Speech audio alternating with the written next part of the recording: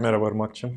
11. programda yine e, biraz daha geniş pencereden bakacağız ve ekonomi tarihinden bahsedeceğiz. Son 2500 yıldır antik Yunan düşünürlerinden bu yana ekonomi ile ilgili tartışılan konulara, üzerinde uzlaşılamayan temel sorulara bakacağız. İstersen o sorulardan başlayalım. Ekonomi deyince genelde insanların aklına ilk gelen şey para oluyor ve özellikle de paradan para kazanmak oluyor. Ama tarih boyunca ekonomi bilimi aslında böyle para veya paradan para kazanmakla çok fazla ilgilenmemiştir. Yani onun ufak niş bir alanıdır o. Ekonominin tarihinde ana konular genelde e, adalet, refah, özgürlük ve rasyonelite ve bunların birini veya hepsini en yüksek seviyede nasıl elde etmek üzerine bir aslında düşünce sistemidir ekonomi. Burada da iki tane ayrı kulvardan bakar. Bir grup bireyin böyle şahsi menfaatleri peşinde koşmasının hem birey için hem de toplum için iyi olduğunu söyler. Bunu söyleyen grup için tabii ne demektir? Bunlara bir bakıma serbest piyasacı diyebiliriz. Ve serbest piyasadan kasıt da tabii işte e, devlet topluma, ekonomiye müdahale etmesin, özel mülk olsun. E, insanlar kendi birazcık daha tabiri caizse kafalarına göre hareket etsin ve bu şekilde piyasalar bir görünmez el ile zaten kendi kendisini düzenler. Yani devlet ekonomiye karışmasın diyen grup bu. Bir ikinci grupta tabii ekonominin toplumun genel refah için olduğunu ve ekonomik kararların da toplumsal bir şekilde, bireysel değil toplumsal bir şekilde ele alınıp uygulanması gerektiğini söyler. Bu ikinci grupta da ana düşünceler nedir? Birincisi tabii devletin ekonomiye müdahalesi, ekonomiyi şekillendirmesi bir merkezi planlamayla beraber ve de kamusal mülkün ön plana çıktı. Şimdi ta bu tartışmalar dediğin gibi yaklaşık 2400 yıl önceye kadar gidiyor Batı düşünce tarihinde, Batı ekonomi düşünce tarihinde. İlk aslında karşılaştığımız dönem Platon. Yine 2400 yıl önce Platon bir devlet kitabı vardır onun. Platon tabi Sokrat'ın öğrencisidir. Sokrat'a da bazen atıflarda bulunur. Platon bu devlet kitabında bir ütopyayı yani aslında bir ideal dünyayı sunar kendi okuyucularına veya işte onu takip eden insanlara. Bu ideal ütopyada devlet de üç kısım oluşur. Bir çalışanlar yani işçiler, çiftçiler. iki askerler, bekçiler, koruyucular yani sistemin böyle bekçileri gibi. Üç ise guardian denir bunlara. Gardiyanlar aslında yani devletin aydın yöneticileri. Ve Platon der ki bu yönetici kısmın örneğin mülk edinmesine karşıdır. Çünkü Platon aslında böyle yarı komüniter bir dünya hayali sunar ve der ki yani yöneticilerin asıl işi bilgelik ve yönetim olmalı ve bunu yaparken de hiçbir şekilde servet edinmemeleri gerekir der. Ve aşırı servet birikimine herkesin de imtina etmesini söyler. Bunu söylerken de tabii şundan söylüyor. Üstteki o yönetici sınıf, aydın yönetici sınıf ve sistemin koruyucuları diyebileceğimiz grup servet elde edemesin ki alttaki geniş halk kitleleri elinde bir parça servet veya işte varlık, refah edinsin ve yöneticiyle yönetilen arasında bir karşılıklı bağımlılık olursun. Çünkü yöneticinin elinde bir servet olmazsa aslında kendi geçimini veya kendi hayatını ve ailesinin hayatını idame ettirmesi için de aslında geniş halk kitlelerine bağımlı olmak istiyor. Yani yönetici burada kendi eliyle kendi elindeki servetle hükmetmiyor. Yani para eşittir servet, e, servet eşittir güç diye bir denklem yok Platon'da. Ve aslında dediğim gibi yönetici sınıfın elinde mülk olmasın, mülk geniş halk kitlelerine yayılsın der, yarı komüniter. Ancak hemen akabinde Aristo geliyor. Aristo Platon'un öğrencisi ve bu görüşü desteklemiyor. Aristo özel mülkü destekliyor. Ama özel mülk insanlar elde ettince diyor bunu halkın, toplumun genel faydası için kullanması gerektiğini ve kullanacağını iddia ediyor. Yani evet kişiler şahsi servet elde etsin ama bunu halk yararına kullansın diyor. Ve tabi Aristo'nun büyük bir ahlak felsefesi vardır. O da genelde her şeyi kararında tutmaya yöneliktir. Uçlardan kaçının der. Yani bireysel mülk konusunda da Aristo evet mülk edin ama aşırıya kaçmadan edin. Elde ettiğin mülkün de halkın, toplumun genel faydasına aç diye söylüyor. Ve aşırı tabii kararında da ne demek? Kararında servet yani belli bir konfor, kendi ayakları üstünde durabilmek, belli bir maddi bağımsızlığa kavuşmak demek. Ama fazlası zarar diyor. Ve Aristo örneğin paradan para kazanmaya da karşıdır aynı Plato gibi. Yani tefeciliğe karşıdır. Bundan sonra Avrupa düşünce tarihinde yani tabii antik Yunan yıkılıyor, Romalar yıkılıyor. Uzunca bir süre böyle bir karanlık dönemden geçiyoruz. 13. yüzyıla kadar. Yani yaklaşık 1600 yıl boyunca çok da fazla bir fikir üretilmiyor Avrupa'da. Ondan sonra 13. yüzyılda bu e, antik Yunan'ın özellikle de Aristo'nun eserleri Batı dünyasında tekrardan keşfediliyor ve tekrardan yorumlanmaya başlıyor. Bunu da ilk en önemli yorumcularından biri Thomas Aquinas 13. yüzyılda. Kendisi bir İtalyan Dominikan rahibi, filozof ve ilahiyatçı. Ve yorumlarında ilk başında tekrardan böyle bir ekonomiye baktığında, tabii ekonomi mi denebilir artık buna, çok ekonominin emek, emekleme çağları diyelim buna 13. yüzyıldaki düşüncede. Thomas Aquinas'ın ortaya attığı en önemli kavramlardan bir tanesi adil fiyat. Bir malın değeri fahiş olmamalı diyor fiyatı. Bir malın satış fiyatı onun ederi değeri kadar olmalı. Yani kime ne faydası varsa o kadar bir değeri olması lazım der. Onun için fahiş fiyata karşıdır. Ayrıca tabii kendisi bir ilahiyatçı da olduğu için yorumlarken de ekonomik bölüşüm konusunda ki en önemli noktalardan biri de ekonomik bir karar alınırken toplumun en fakir kesimlerinin de ihtiyaçlarını mutlaka ama mutlaka göz önünde bulundurmalıyız der Thomas Aquinas. 16. yüzyıldan itibaren e, teknolojinin de gelişmesiyle birlikte deniz aşırı ticaretin başladığını görüyoruz e, ve şu anda anladığımız anlamda kapitalizmin de belki ilk e, tohumları atılıyor bu dönemde. Bu gelişme ekonomiyi düşüncesini nasıl etkiliyor? 16. yüzyılda dediğin gibi 1500 yılların başında dünyada özellikle tabii Batı dünyası burada Avrupa'dan e, bahsediyor. Navigasyon yani yön bulma, dünyada yön bulma ve gemi inşa teknolojileri gelişiyor ve bir anda okyanuslar keşfedilebilir hale. O güne kadar bilinmeyen kıtalar ki bunların başında tabii Amerika, Kuzey ve Güney Amerika geliyor. Bunların keşfi ve bir anda yepyeni böyle bakir topraklar ve uluslar keşfediliyor. Şimdi bu yapılırken bu dönemde 1500 ile 1750 yılları arasında merkantalizm diye bir düşünce oluşuyor. Özellikle İngiltere'de çıkıyor. Ekonomi zaten Batı dünyasının ekonomik düşüncesi de birazcık da İngiliz sporu gibidir açıkçası. Yani çoğu fikir oradan çıkmakta. Bu merkantilistler, Türkçeyi bunu böyle ticaretçilik diye çevirebiliriz. Deniz aşırı ticaret konusunda ve ulusların servetinin kaynağı konusunda iki görüşe sahipler. Bir, diyorlar ki servetin kaynağı, bir ulusun servetinin kaynağı kıymetli madenlerdir. Yani altın ve gümüş. Onun için her ulus olabildiğince altın ve gümüş biriktirmelidir. Servetin ve gücün kaynağı budur diyor merkantilistler. İkinci görüşleri de uluslararası ticareti bir zero sum game yani sıfır toplamlı oyun olarak görüyorlar. Yani diyorlar ki uluslararası ticaret olacaksa biri kazanıyorsa biri kaybediyordur. Onun için biz kazanan olmalıyız diyor. Yani bizim ulusumuz kazanan olmalı diyor. Peki bunu nasıl kazanacağız diyor. Bunlar aşırı korumacı ve devletçi. Şöyle ki yani bizim ulusumuz olabildiğince ihracat yapsın Özellikle bu yeni açılan sömürgelere ve diğer uluslara karşı ve ithalat yapmasın. Bunu da yaparken altın ve gümüş biriktirelim diyor. Tabii bunların bir siyasi uzantısı da oluşuyor. Kaldı ki bu arada bu merkantilizm birazcık da hani e, izleyicilerimiz böyle hani yerli ve milli lafını da hafiften hatırlatıyor olabilir. Yani bol sadece ihracat yapalım, ithalat yapmayalım. Aslında bu dediğim gibi 1500-1750 yılların merkantilist düşüncesine de yakın bir görüş. Peki merkantilizmden ne çıkıyor siyasi olarak?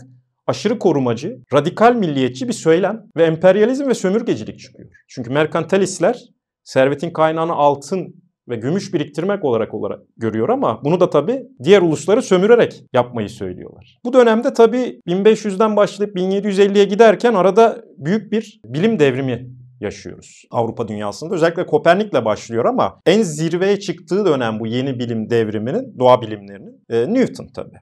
Newton 1687 yılında Principia diye bir kitap yazıyor. E, doğa felsefesinin matematiksel ilkeleri. Ve şunu görmeye başlıyor insanlar. Doğanın belli kanunları var ve bilim bu kanunları, bu evrensel kanunları çözmek, keşfetmekle sanki mükellefmiş gibi. Tabi doğa bilimciler bunu yaparken öbür tarafta da ahlak filozofları var. Çünkü o dönem aslında sosyal bilimler diye bir şey yok. Bunlara filozof veya ahlak filozofu deniyor. Kaldı ki ekonomi de aslında böyle matematiğin veya sosyal bilim içinden değil, ahlak felsefesinin içinden çıkmış bir şeydir. Ve bu dönemin ahlak filozofları veya bugünkü tabirle bunlara sosyal bilimciler diyebiliriz bir noktaya kadar. Onlar da diyor ki ya madem doğada evrensel değişmeyen kanunlar var, acaba toplumu etkileyen de böyle toplumsal evrensel kanunlar var mıdır? Ya da vardır bunları keşfedelim diyorlar. Yani aslında biraz doğa bilimcilere Böyle fizikçilere, matematikçilere özeniyor o dönemin filozofları. Ve Bunlar içinden bu filozoflar, sosyal bilimciler yeni yeni kanunlar çıkartmaya başlıyor. Peki senin bu bahsettiğin dönemin sosyal bilimcileri toplum e, bilimlerinde de aynı doğa bilimlerinde olduğu gibi evrensel yasalara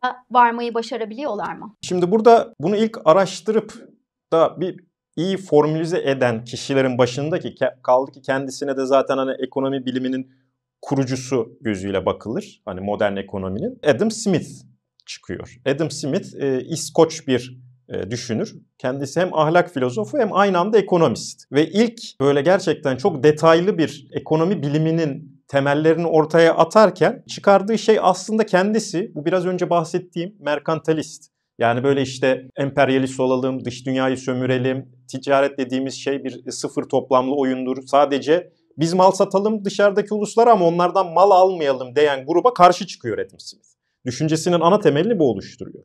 Ve tabii en önemli şey çoğu insanın da burada bildiği 1776 yılında Ulusların Zenginliği diye çok önemli bir kitap yazıyor. Belki de hani ilk gerçek anlamda bilimsel ekonomi kitabı diyebileceğimiz kitap bu. Ulusların zenginliği. Burada kendisinin üç ana alanda görüşleri var. İşte iş bölümünün nasıl yapıldığı üretimde, sanayide özellikle, imalat sanayinde.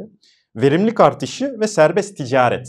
Şimdi Adam Smith serbest ticaret yalnız. Bu o dönem için gerçekten devrimsel nitelikte. Çünkü dediğim gibi bir öncekiler diyor ki serbest ticaret olmasın. Sadece biz batılı işte uluslar olarak yeni sömürgelere mal satalım. Onlardan da altınlarını, gümüşlerini böyle biriktirelim diyen bir grup var çünkü Adam Smith'e kadar. Adam Smith diyor ki hayır diyor böyle bir şey olmamalı. Serbest ticaret olmalı ve serbest piyasa olmalı diyor. Zaten genelde de insanların en çok bildiği Adam Smith denince veya ekonomi deyince bir görünmez el. Çünkü Adam Smith yani şöyle diyor hani bir kişi şahsi menfaatlerini peşinde koşarken en yüksek şekilde, verimlilik şekilde kar elde etmek, çıkar elde etmeye çalışır.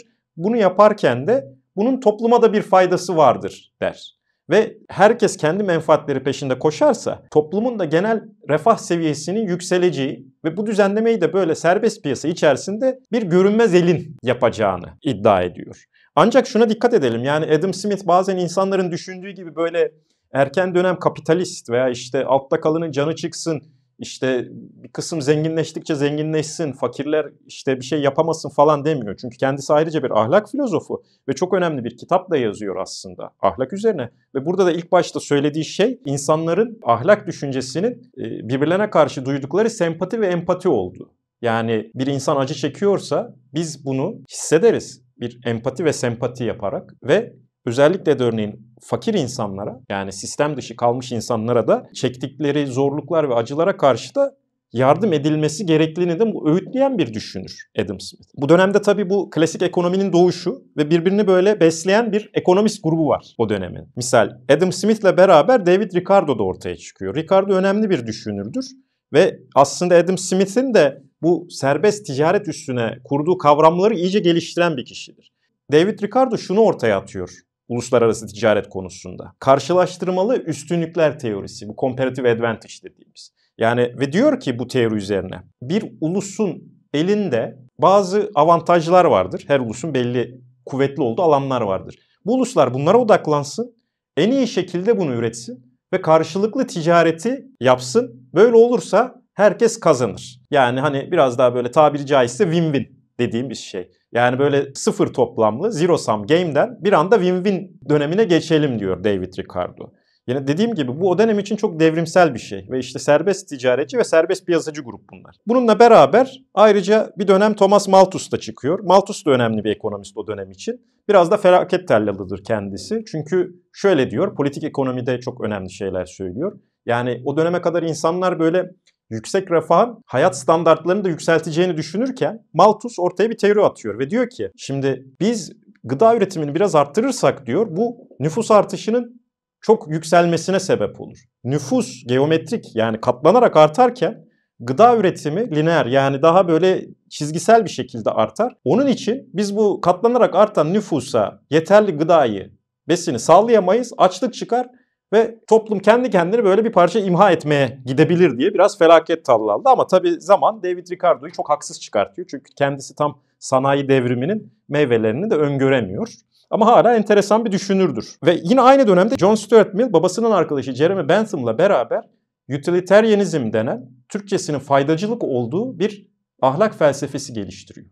Bu çok önemli bir şey. Bugün de aslında hala çoğu ekonomistin görüşü özellikle hani sol veya merkez sol diyelim de bulunan politik olarak ekonomistin görüşünü de etkileyen bir felsefedir bu faydacılık utilitarianizm. En basitiyle anlatmak gerekirse utilitarianizm şunu söyler. Toplumsal olarak alınacak özellikle ekonomik kararlardaki en önemli rehber sonuçta en yüksek mutluluğun, refahın en çok kişiye ulaşmasıdır. Yani toplumdaki insan sayısına en geniş insan sayısına en yüksek mutluluk ve refah getirecek toplumsal ekonomik tercihler ahlaken doğrudur diyorlar. Ve bununla beraber klasik ekonomi devreye girmiş oluyor. 1750'ler 1800'ler civarı. Bu noktada da sanayi devriminden bahsedelim. Sanayi devrimi Malthus'un felaket senaryosunu haksız çıkarıyor, boşa düşürüyor. Fakat bir yandan da büyük eşitsizliklere yol açıyor değil mi? Ve Marksizm de bu eşitsizliklere, bu koşullara e, bir tepki olarak doğuyor. Sanayi devriminde dediğin gibi çok büyük bir eşitsizlikler çıkıyor. Bir serveti elde, sermaye elinde bulunduran sermaye sınıfı ve işte eskinin deyimiyle fabrikatörler. Öbür tarafta da gerçekten e, çok zor koşullarda yaşayan bir işçi sınıfı. Ve ortaya Karl Marx çıkıyor bu dönemde. Karl Marx tabii önce 1848'de Komünist Manifesto'yu yazıyor ama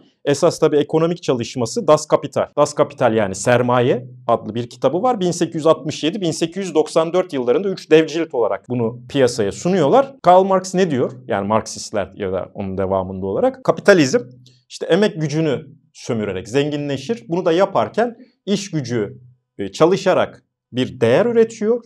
Bu ürettiği değerin de artı değeri kendisine düşen yemiye veya işte maaşın çok daha büyük bir kısmı sermaye sınıfına gittiği için işçi çalışıyor ama üretiyor. Bu üretimden ufak bir pay elde ediyor. İşin kayma sermayedarlara, fabrikatörlere gidiyor ve bu böyle bir işçi sınıfı ve sermaye arasında bir sınıfsal çatışmanın kaynağıdır diyor. Tarihsel olarak da bu ve bu düzen değişmeli veya değişecektir diyor. Marksizmin kökeni de bu. Tam Marksizm dünyayı kasıp kavurmaya başlamışken Birinci Dünya Savaşı ve ardından da Büyük Burhan. Peki Birinci Dünya Savaşı ve Büyük Buhran ekonomiyle ilgili varsayımları nasıl değiştirdi? Şimdi Birinci Dünya Savaşı büyük bir yıkım, sermaye kaybı. Ondan sonra 1929'da da Büyük Buhran ortaya çıkıyor ve çok ciddi bir işsizlik, çok ciddi bir ekonomik gerileme süreci başlıyor ve geçmiş dönemin bu görünmez eller, serbest piyasa kendi kendini dengesini bulur. Birazcık ona zaman tanıyın. Uzun vadede bu işler kendi kendine düzelecek diyen kısma karşı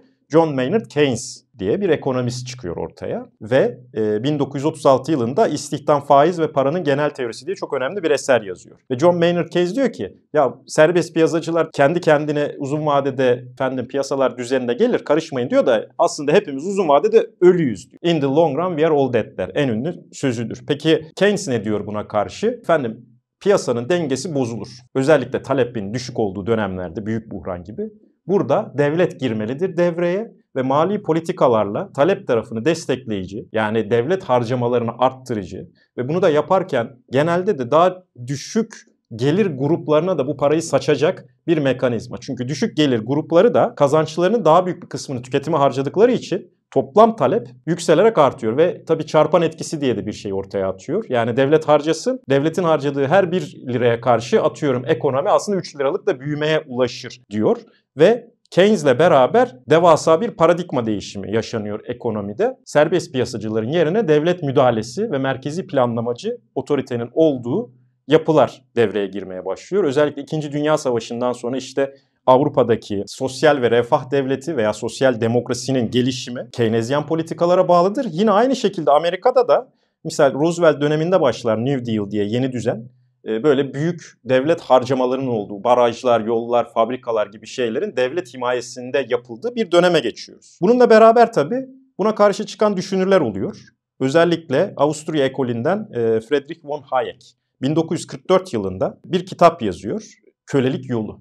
Ve diyor ki hayır diyor efendim işte devlet müdahalesinin olduğu yerde totaliteryanizm çıkar ve liberal demokrasi ve özgürlüklerin köküne kibrit suyu dökülür diyor. Ve bu eleştiriyi de şöyle getiriyor. Çünkü Marksistler örneğin o güne kadar ve sonrasında da iddiaları şu tabii. Ya faşizm sosyalizme karşı kapitalist bir reaksiyondur diyor Marksistler. Ancak Hayek hayır bu böyle bir şey değildir. Yani faşizmin de devlet sosyalizminde temelinde bir devlet merkezi planlaması, bir devlet otoritesi vardır. Aslında iki düşünce akımının da temelini besleyen şey de bir totalitarizmdir. Yani bireyin olmadığı her şeyin topyekün bir devlet tarafından örgütlendiği bir şeydir. Bu da liberal demokrasi için tehlikelidir diyor. Ve tabii burada bir şey daha oluyor İkinci Dünya Savaşı'nın sonunda. Bretton Woods planı devreye giriyor. Bu IMF'nin de kurulduğu dönem. Çünkü devletler birbirlerine karşı böyle rekabetçi devalüasyon yapmasın. Onun yerine bunu gözetecek ve eğer e, bir döviz sıkıntısı yaşanırsa belli bir ülkede devalüasyon gitmek yerine IMF devreye girsin diye 1944 yılında Bretton Woods devreye giriyor. 70'lere geldiğimizde ise Bretton Woods sisteminin çöktüğünü ve e, Arap dünyası ve İsrail arasında yaşanan Yom Kipur Savaşı'nın ardından büyük bir petrol krizi çıktığını görüyoruz. Bu gelişmeler ekonomiyle ilgili varsayımları yine değiştiriyor değil mi? 1970'lerde bu petrol şoku, petrol fiyatlarının bu savaşlarda özellikle 73 Arap-İsrail Savaşı ve 79'da tabii İran'daki Mollaların yönetimi ele geçirmesiyle petrol fiyatları dünyada çok hızlı artışa geçiyor ve çok büyük bir arz yönlü bir şok yaşanıyor. Yani arzda çok ciddi sorunlar sorunlar yaşanıyor ve stagflasyon dediğimiz bir şey ortaya çıkıyor. Stagflasyon ekonomi böyle büyümezken işsizliğin arttığı, artmaya devam etti ve enflasyonun yükseldiği bir dönem. Ve Keynesyen politikaların burada bir işe yaramadığı düşüncesi haiz oluyor ve köşede bir süredir bekleyen Chicago ekolü dediğimiz ve ilk programda da bahsettiğim bu monetarist grup ki başını Milton Friedman çeker bir anda piyasaya çıkıp diyor ki e, Keynesyenizmi falan bırakın, devlet müdahalesini falan bırakın. Biz burada özelleştirmeler yapmalıyız, kamusal mülkiyetten özel mülkiyete geçmeliyiz, sendikaların güçlerini kırmalıyız, deregülasyonla düzenlemeleri ortadan kaldırmalıyız ve devlet mali politikalardan çekilmeli, sadece para politikasına odaklanmalı ve sanki devletin tek piyasadaki rolünün de para e, arzını bir şekilde kontrol etmesi ve enflasyonu da engelleyecek bir politika yapması ve bunun dışında da bir şey yapmaması olan bir sürece geçiyoruz. Yani aslında 2. Dünya Savaşı'nda sonra Keynesyen dönemden başlanırken 1970'lerin e, sonunda bu monetarist ve Chicago ekolü denen genel grupla beraber tekrardan bir neoliberalizme veya diğer e, anlamıyla böyle bir serbest piyasacı kapitalizme geri dönen ikinci bir dönem yaşıyor dünya. Ancak bu dönemde 2008 ile beraber aslında son buluyor. Çünkü 2008'de çok büyük bir e, büyük resesyon dediğimiz özellikle çok büyük bir bankacılık krizi yaşanıyor bütün dünyada ve bu monetarist model de aslında burada çöktüğü düşünülüyor ve tekrardan kamu politikaları, mali harcamaların olmasını gerektiğini söyleyen neo Keynesyen yani yeni Keynesciler ki bunlar arasında Paul Krugman, işte Joseph Stiglitz gibi isimler vardır. Ama daha da önemlisi geçen programlarımızda da bahsettiğimiz Thomas Piketty gibi ya aslında bu genel sorunlar ne işte efendim büyük genel sorunların esas kaynağı gelir ama daha da önemlisi servet eşitsizliğidir. Devlet de özellikle global seviyede müdahale edecekse bu eşitsizliklerin önüne geçmelidir diyen yeni bir ekol 2008 yılından beri düşüncelerini oldukça geliştirmekte. Ancak daha tam bu fikirlerin hani nereye varacağı şey olmadı. Çünkü 2008 krizinin hala etkilerini yaşıyoruz. Ancak içinde yaşadığımız döneminde tekrardan bir paradigma dönüşümü olduğu ve ekonomik olarak hem Türkiye'de hem dünyada yaşanan büyük sancılara karşı e, bir çözüm yolu üretmeye çalışan düşünürler de hala orada bulunmakta. Ama dediğim gibi ilk başta yani 2400 yıldır 3 aşağı 5 yukarı aslında biz iki ayrı düşüncenin birbiriyle çekişmesi. Yani işte kamu mülkiyetine karşı, özel mülkiyet mi, devlet müdahalesine karşı, bireycilik mi, serbest piyasaya karşı planlı ekonomi tartışmasını 2400 yıldır biz yap- yapıyoruz. Bir süre daha yapmaya devam edecekmişiz gibi de görünüyor sarkaç gibi bir uçtan diğerine savruluyor herhalde e, ekonomi düşüncesi. Ekonominin 2500 yıllık tarihini anlatmış oldun. Ağzına sağlık. İzleyicilerimiz de daha derinleşmemizi istedikleri bir dönem ya da bir düşünür varsa her türlü bu programla ilgili fikirlerini yorumlara yazabilirler. Çok teşekkürler. Görüşmek üzere. Görüşürüz.